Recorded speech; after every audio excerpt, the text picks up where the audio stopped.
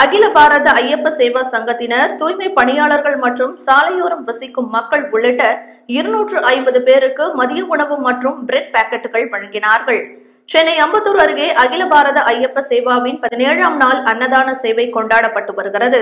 இதனை அனுசரிக்கும் விதமாக அயப்பாக்கம் கிளை மற்றும் ஸ்ரீ ஐயப்ப சுவாமி பக்தர்கள் அறக்கட்டளை சார்பில் தூய்மை பணியாளர்கள் மற்றும் சாலையோரம் வசிக்கும் ஏழை மக்களுக்கு உணவு வழங்கப்பட்டது.